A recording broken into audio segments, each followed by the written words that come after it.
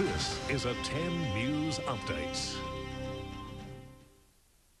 Good evening, I'm Selena Edmonds. Making news tonight, American Marion Jones wins gold in the 200 metres sprint. Australians Melinda Gainsford Taylor and Cathy Freeman finishing 6th and 7th respectively. The Court of Arbitration in Sport has upheld the IOC's decision to strip Romanian gymnast Andreea Raducan of a gold medal. She tested positive after taking a flu pill.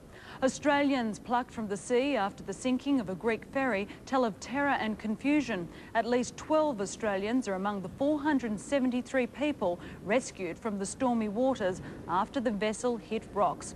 Also, Paralympians enlisted to fight the road toll fears New Zealand's amnesty for illegal immigrants will bring unwanted people here.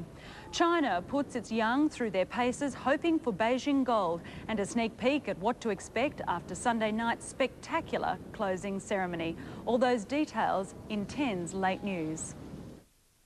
Good evening, I'm Selena Edmonds. Coming up next, double gold for Australia in the yachting. American Marion Jones takes gold in the 200 metres sprint.